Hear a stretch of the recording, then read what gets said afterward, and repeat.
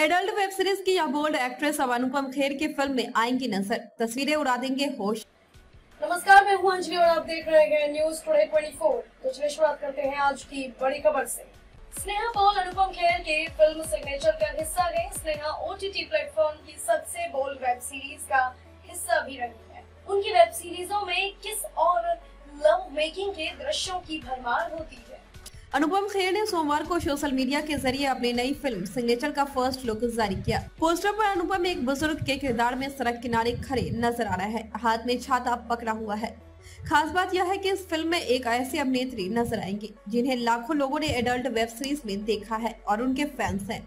यह एक्ट्रेस है स्नेहा पॉल, जो उल्लू ऐप पर आने वाले 18 प्लस वेब सीरीज़ में नज़र आती हैं। स्नेहा की पिछली web series Charmukh Chawl house काफ़ी चर्चित रही थी। इस सीरीज़ में स्नेहा ने एक गृहिणी का किरदार निभाया था। सीरीज़ में स्नेहा ने जमकर हॉट सीन्स दिए थे। किसिंग सीन्स भी खूब दिखाए गए थे। यह ओटीटी पर मौजूद बेहद बोल्ड कंटेंट में शामिल है और इस सीरीज़ को अकेले ही देखा जा सकता है। सीरीज़ इसी साल 25 फरवरी को स्ट्रीम की गई थी। स्नेहा ने सिग्नेचर फ़िल्म का फ़र्स्ट लुक सोशल मीडिया में साझा भी किया है और फ़िल्म में अपने होने की जानकारी दी है। स्नेहा पॉल सोशल मीडिया में काफ़ी सक्रिय है और इंस्टाग्राम पर अपने फ़ोटो शेयर करती रहती है।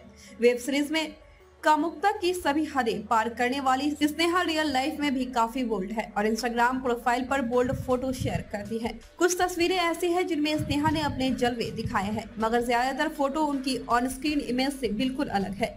किसी फ़ोटो में स्नेहा सूट में नज़र आ रही है तो किसी में वेस्टर्न ड्रेस पहनी हुई है। कुछ तस्वीरें परिवार के साथ भी है। स्नेहा ने अपना करियर मॉडलिंग से शुरू किया था। फिर कोलकाता में थिएटर से जुड़ी और फिर शॉर्ट वीडियोस में नज़र आई। 2021 में शुरू हुई चरमुख सीरीज़ से उन्हें लोकप्रियता मिली है। खबरों में अब तक बस इतना ही, मिलते हैं फिर ऐसी ही बड़ी खबर के साथ।